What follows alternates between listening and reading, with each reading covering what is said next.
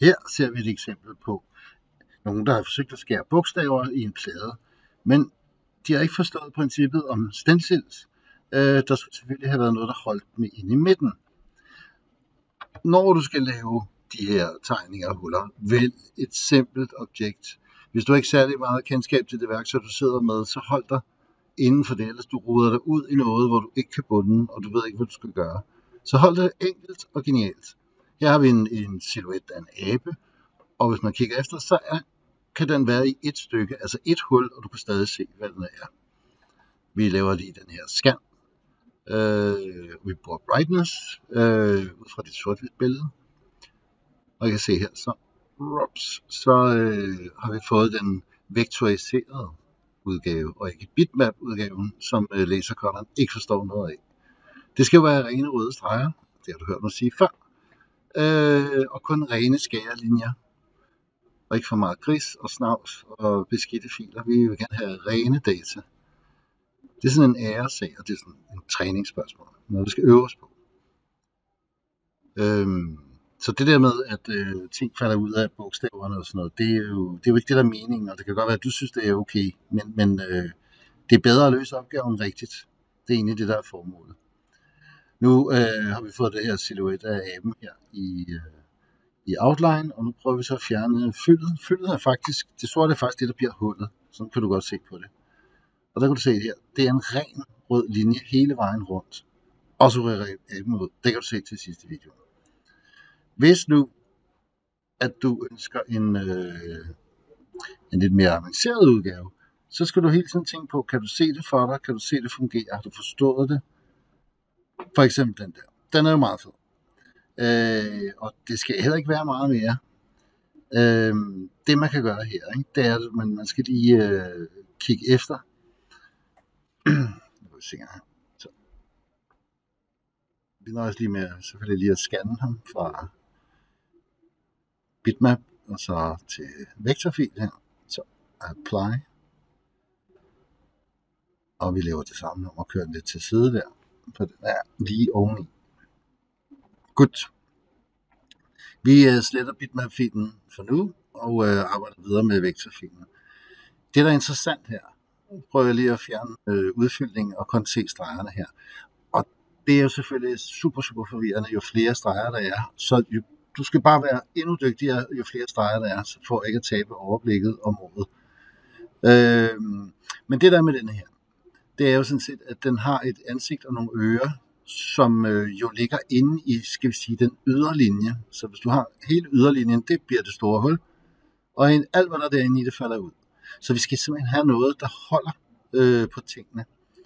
Og der kan man faktisk lave sådan en, en lille bitte kasse, som man så, øh, når du har valgt begge, altså både kassen og æben, vælger at lave det, der hedder en difference, øh, så skal du nok lige øh, lave sådan en, en lille pind her. Du bare følge med her.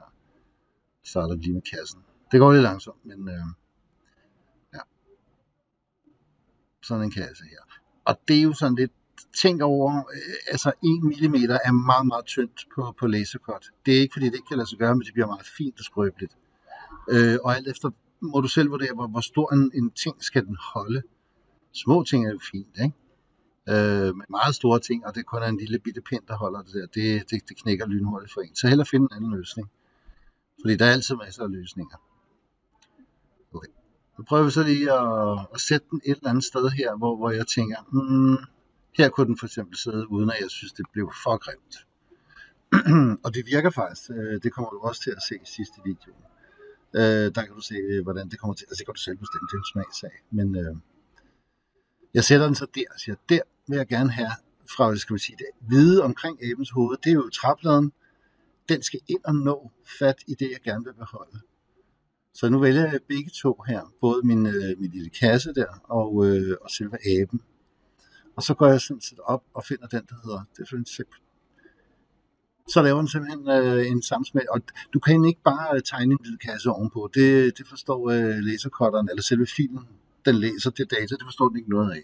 Så, så er det ligesom bare en tegning i noget flere lag. Men se, nu fører jeg så lige igennem her udefra ind. Og det er sådan, at du skulle tænke at der er simpelthen vej ind til at holde fast i det der. Så kan man så sige, nu bliver den nye omkreds selve abens ansigt. Og øjnene, de må gerne falde ud. Næsen på den må gerne falde ud. Det er fint. Så, øh, så det er jo godt. Og så er det ørerne. De har da ikke rigtig som forbindelse til noget. Øh, de sidder bare derinde i alt det sorte der. Så der laver vi tilsvarende en, en, lille, en lille pind. Og husk, du kan se op øverst, hvor, hvor tyk den er, i, øh, hvis den er så indstillet til millimeter. Ved siden af x og y, så er der øh, bredde og højde. Ikke? Godt. Og dem sammenføjer jeg igen også, øh, ved at de begge to er markeret. Og man kan faktisk kun gøre det en gang. Det havde faktisk været ret smart, hvis man kunne have taget fem pinde, for eksempel, og så er en gang. Men da det ligesom, den skal lave hele stregtegningen om, så bliver det for meget, øh, hvis man ikke bare gør det en af gangen. Så igen, hold det simpelt, så du kan følge med, og hvis du laver noget, hvor du ikke forstår det, så prøv at lave noget, der er lidt nemmere. Øh, ja, det er det eneste, jeg kan anbefale, for det så, så sidder man bare og bliver frustreret. Og specielt, hvis man ikke kender programmet til fingerspidserne, eller har brugt særlig meget tid på at lære det at kende, og så, øh, så kommer man faktisk hurtigt i problemer her. Godt. Nu har vi fået en pind ind til ørerne og en pind ind til ansigtet. Så er der lige underkæben her, som du kan se, at det, det nederste af munden der, den, den har faktisk heller ikke nogen forbindelse til noget, der er, fordi selve hvad skal sige, munden, der, det er en sort streg der, så det bliver jo et hul. Så det skal vi også lige finde en løsning på, øh, og det bliver samme princip med, med lille pind. Jeg tror, at tricket er at finde et, et sted, hvor det bliver pænt, uden at lægge for meget. Godt. Ikke? Nu har jeg fundet et sted, hvor jeg tænker, det, det, det må blive der, det der kan holde her. Så vi, øh, vi åbner lige ind til underkæben der på aben. Og igen, det er op difference. Der er også noget intersections. Igen, sid og leg med det. Øh, ikke nødvendigvis på din tegning, men bare noget, noget andet, indtil du har styr på principperne i, øh, hvad dine muligheder er. Og når du kender dine muligheder, så har, kan du også udvide det, øh, du gerne vil lave. Så. Og så er der hul så er vi færdige faktisk med det. Det er vi tilfreds med. Så nu skal det bare ligesom øh, over i streg og på øh, nu i det her tilfælde vores telefonholder. Og det er det. Ingen fyld. Ren rød streg. RGB 255. Stregtykkelse 0,02. Du kender det hele, og hvis igen, hvis du ikke kan se stregerne, så er der den der display mode, som øh, tykner dine tynde linjer, så man bedre kan se og arbejde med dem. Så nu har vi, øh, I kan se den øh, aben før, der er også sat på en telefonholder, og nu sætter vi bare den ind her. Jeg kan, altså, når jeg kan anbefale, ligesom, at mellemrummene øh, på, øh, mellem tingene, eller de huller, der skal være, altså det skal ikke være øh, under en millimeter. Øh, og så tænker du sikkert, hvordan ved jeg det? Altså øh, med, med tykkelse der, men, men der kan du sådan set øh, lave en lille bitte firkantet kasse, gå op og øh, taste ind øh, 2x2 mm. Øh, og så kan du sådan, så føre den rundt øh, og se øh, sammenligningen mellem det. Øh, yes. Nu er vi i gang med det der. At justere stregtykkelserne her og kontrollere. Og nogle gange, når man overfører det fra en, tilbage fra en pdf eller fra et andet dokument, så tjek hele tiden, der er stregtykkelsen, fordi det, det, de ændrer sig lidt hele tiden af en eller anden årsag. Så det sidste, man gør, inden man øh, egentlig gemmer ud, det er at tjekke alle stregerne. Ikke? Så, og nogle gange kan man highlight det hele, nogle gange kan man ikke. Specielt ikke, hvis der ligger grupper øh, af billeder der. Ikke? Ja. Nu har vi legnet de her to op. Øh, og igen det der med, nu zoomer jeg lige ind, ikke? og sådan kigger lidt på det der, så kan du se, jamen, er det for tyndt igen, ikke? Er det for tyndt?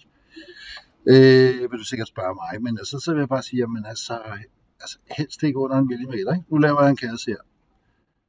Øh, 2 gange 2 mm. Ikke? Og så, øh, så kan jeg vel lige øh, køre det rundt her. Og den sletter du bare, når du er færdig, men det er bare sådan en lille øh, trick, hvis du lige vil, og du kan også justere den, og så kigge op igen, hvor, hvor, hvor høj er den, og hvor bred er den nu. Ikke? Så får du en idé om, øh, hvor meget øh, materiale der egentlig er tilbage, og så vurderer selv, hvad skal det holde? Så nu skal vi simpelthen bare have, se, have skåret det her ud her, og så se, hvordan det, øh, det ender.